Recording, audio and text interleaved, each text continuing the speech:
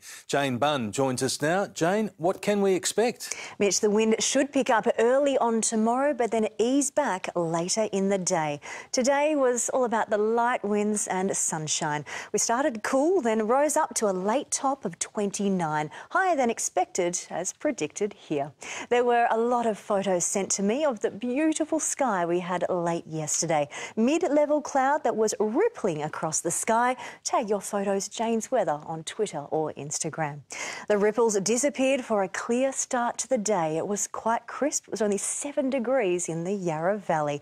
And it didn't last. The afternoon was summery, warm with light winds. But the cloud that we can see here lets us know that there's a change on the way. So it's wispy, high cloud. That's the first part of an approaching cold front. And the isobars show there is a tight pressure gradient. The lines are quite close together. So we'll feel a sharp increase in the wind and it's strong enough to do damage. I'll let you know when they'll ease soon. Mitch.